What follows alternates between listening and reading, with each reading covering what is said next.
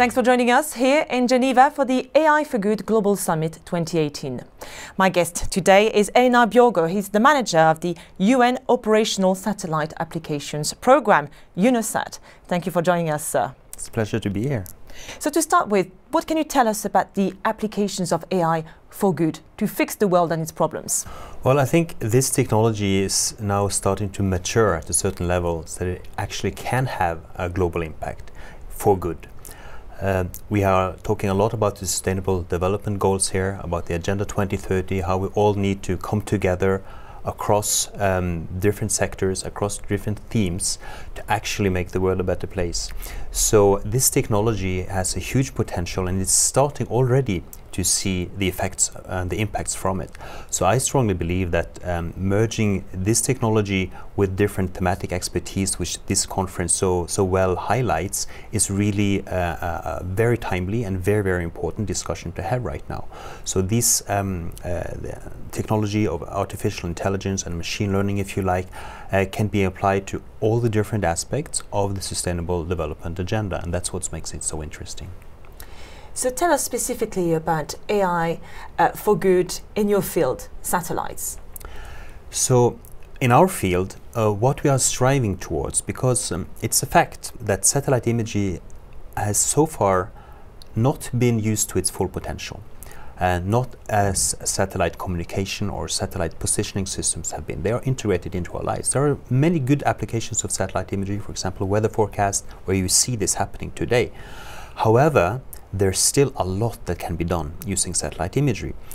Uh, what we are seeing now is, uh, thanks to big data, thanks to big data processing and analysis, uh, we can train uh, the machines using machine learning, using artificial intelligence to analyze satellite images at a scale never seen before. And that is what makes it so interesting, because we have been analyzing individual satellite scenes for a long time, but now we can really take a stab at global data sets for the global good, for the global sustainable development goals.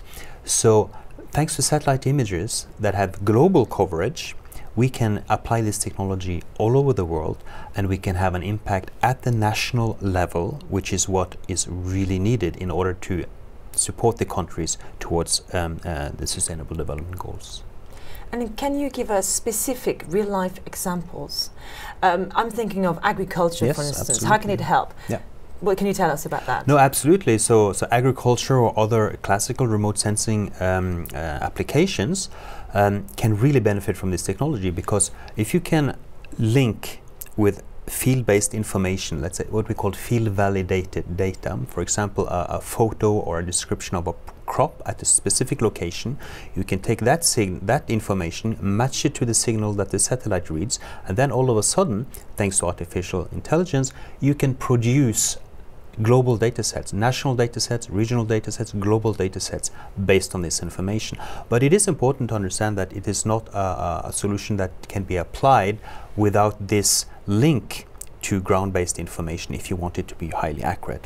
However, it is a super efficient way of doing it and um, it has great potential for supporting especially the countries that are the furthest behind because they have very little of such capacities. But we can using this um, technology, we can serve them in a much, much better way than what we have been able to do so far. So we understand that AI has a bright future in, in satellite, but there are concerns uh, around privacy mm -hmm. uh, in particular. So how do you address them?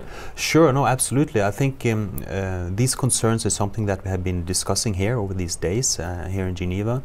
Um, uh, it's important to have transparency on this, to be completely clear on, on, the, on, the on the data that are being used, how they are collected, how they are processed, uh, what kind of, uh, uh again, ground data you are matching them uh, up against, and, um, and how uh, countries can have access to them, so that there's also not a divide there. Of course, um, private companies can have access to this. Um, so it's also very important that the countries themselves have access to the same information in order to have uh, uh, and to be able to take informed decisions of their natural resources, for example. So that is what we, as the UN, as the UN Institute for Training and Research, we are very, very much uh, about and supporting the countries and, and getting this knowledge and transferring this knowledge to these countries. Mr. Bjorgo, thank you very much. Thank you very much.